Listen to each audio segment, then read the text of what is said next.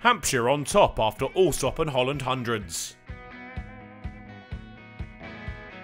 Across the LV County Championship, only two sides had won both their opening games Hampshire and Gloucestershire.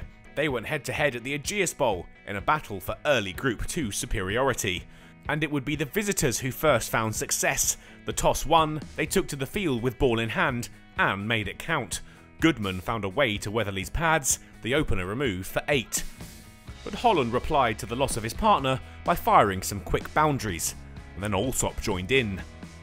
The pair found their feet together and took their side to 50 runs, the first break now just a few minutes away. And despite the loss of their opener early, Hampshire got a handle on things, the pair cruising, and they remained unbeaten through to lunch. The score at the break 65 for 1.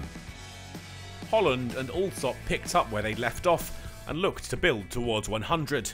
The former was now looking to pick up another landmark total. He'd get there, another fine knock to add to an ever growing collection after a great start to the LV County Championship. The Team 100 came soon after, the early wicket now looking like a false dawn for Gloucestershire. Alsop joined Holland on the figure. He had a 50, and the score was now heading towards 150. They'd breeze past that total, Hampshire now in the driving seat, as the afternoon session headed towards tea. When they found their way to the interval, the score was 168 for 1, and the hosts had taken control of the match. The first day had drifted from Gloucestershire. Holland and Alsop started to enjoy themselves.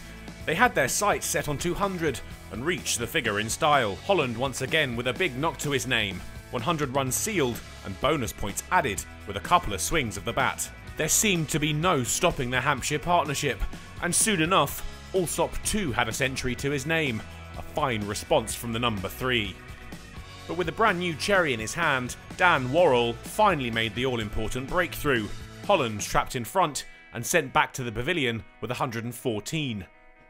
Hampshire took it in their stride. Their confident start to the season continued, with over 250 runs now on the board. And then Gloucestershire had something to shout about late on.